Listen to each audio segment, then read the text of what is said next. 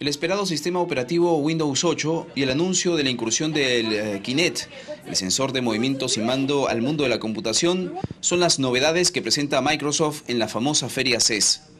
Pero no son las únicas que se ofrecen en el Consumer Electronics Show.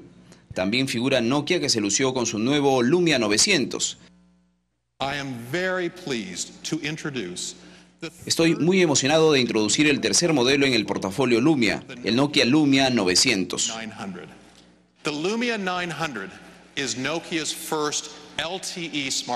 Lumia 900 es el primer smartphone de Nokia que utilizará la tecnología 4G de AT&T, llevando la experiencia de audio y video a otro nivel.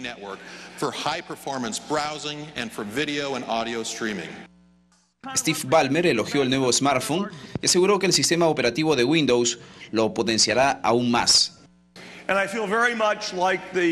Esta alianza con Nokia alrededor de un smartphone con Windows Phone va a dar buenos frutos para los usuarios, diseñadores y para las dos compañías.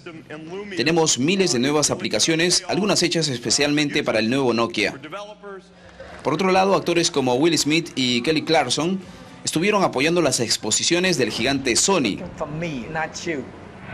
Crazy, right? Two grown men talking to the wall, wall talking back. It's a mess. Hey, don't even worry about it. Se espera que la feria traiga en los próximos días otras grandes novedades en el mundo de la electrónica y la informática.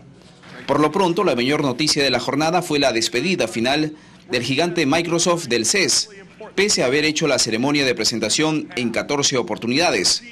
Los directivos habrían decidido que ya no les interesaba la feria porque les imponía presión de tener nuevos modelos o inventos para una determinada fecha. Ahora ellos manejarán su propia agenda de presentación de productos, tal como lo hace Apple desde hace años.